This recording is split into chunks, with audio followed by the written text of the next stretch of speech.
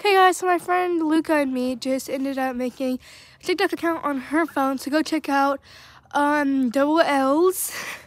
Cuz like my nickname's Lizzie and the Elizabeth. So um, go it's check out double L's. And a lot of S's at the end and then it's Lizzie and Luca. And then our bio is school oh. I can't remember it's school um